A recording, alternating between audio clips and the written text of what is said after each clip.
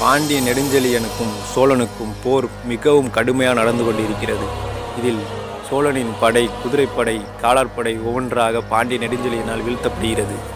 இருப்பினும் சோழனும் பாண்டியனின் காலாட்படைகளை முற்றிலுமாக வீழ்த்துகிறார். இருந்தாலும் பாண்டிய நெடுஞ்செழியனின் பேராற்றலும் பாண்டிய படைகள் பெரும் படையாக இருப்பதால் சோழனிடம் இருந்த நான்கு படைகள் தன் நாட்டை நோக்கி ஓடிவிட்டதால் பாண்டியனின் கை கொஞ்சம் கொஞ்சமாக ஓங்க ஆரம்பித்தது.